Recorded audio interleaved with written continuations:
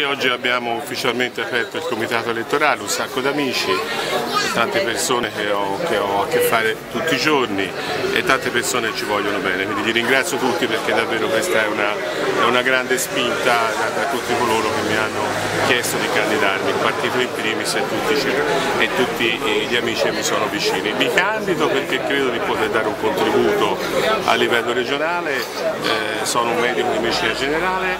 lo, svolgo questa attività da oltre 30 anni, eh, sono, ho fatto il segretario di zona del Partito Democratico e attualmente sono sindaco a Rignano Sull'Arno dal 2012. Mi sono sempre occupato di sanità e sociale,